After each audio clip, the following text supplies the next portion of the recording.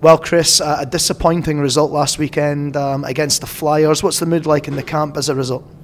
Um, you know, I feel the boys were a little bit disappointed after last Saturday's match. You know, we had a, a big crowd and a, a really good week of practice leading up into that game. We knew what we had to do. Um, I mean, our execution probably wasn't there. Um, I can't really fault how the, the boys worked. Um, so, like I said, we're a bit disappointed, but we know from now on we can't, you know, hang our heads. We've got to just take each game as it comes now because we know how important each game is for the remainder of the season.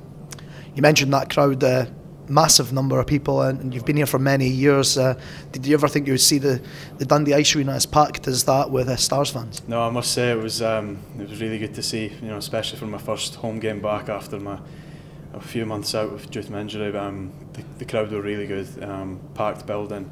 You know, I used to come watching them as a kid, and to see how busy it is and how much this club's grown now, it's, it's awesome. And you mentioned, of course, being out for a bit of time. What's that been like for you mentally, watching from the sidelines and not being able to be on the ice? Yeah, it's, it's been tough. Um, you know, you've got it gets to a point where you've got to, you know, take my, my own personal health first. Um, you know, it's the second time I've, I've had this injury, and you know, um, making sure I got this completely 100% back to where it was before was a key for me because obviously I didn't want to have to be on the sidelines anymore. Watching them has been tough, um, especially you know if we went through a bad spell or what. But you know I think I've came back at the right time. The boys are certainly finding their feet again, and I'm confident for the rest of the season. And you spent a lot of time on the bench uh, during that uh, time out uh, of actual playing on the ice. What, what did you learn in that time?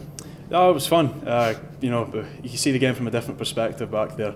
Um, I maybe didn't bring as much uh, coaching as it as you will. I was more of a moral support, but um, you know it was good good fun being back there. I know kept me involved with the boys uh, in my time I've been out. I really enjoyed it.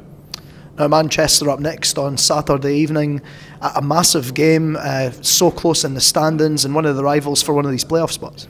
Yeah, huge game. Uh, you know we're obviously trying to catch Manchester, not far ahead of us now. You know from where we were in December. You know that gap was pretty considerable, but now obviously it's closed down. Um, like I said, we know every game, no matter who it's against, um, we need to win them now. It's a, it's a case we got to go get the job done, get those two, two points.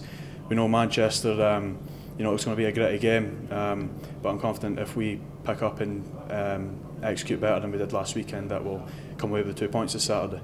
Um, we mentioned the fans from last weekend, but if they can turn up in those numbers again, that'd be great as a an extra element of, um, uh, I suppose, uh, not pressure but uh, support. Yeah, definitely. Um, you know, myself personally, when the, we've got a, a packed building that um, you know gets you up for the game. You know, the boys we thrive in a, a packed building, so hopefully, if the, the fans come out in numbers like they did last Saturday, we can put on a better performance for them this week.